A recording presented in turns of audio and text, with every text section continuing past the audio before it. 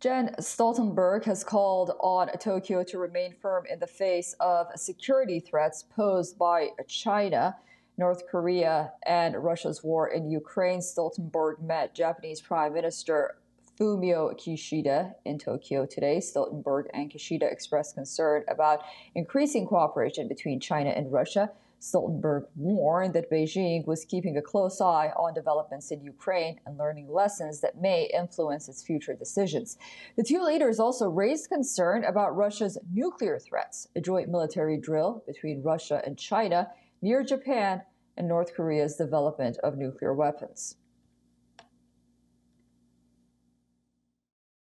War in Ukraine also demonstrates um, that our security is uh, closely closely interconnected.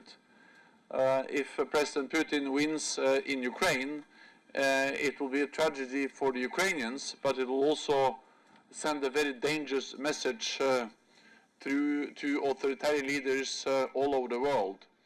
Because then the message will be that when they use uh, military force, they can achieve their goals.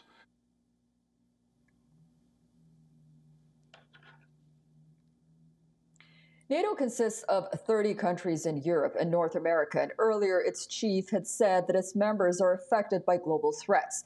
Last year, Kishida and South Korean President Yoon Suk Yeol became the first leaders from their countries to attend a NATO summit as observers. China has previously criticized NATO's efforts to expand its alliances in Asia and Russia. And Russia has repeatedly cast NATO's expansion as a threat to its security. In December, Japan unveiled plans to boost up its defense capabilities. This will make it the third biggest military spender after the United States and China.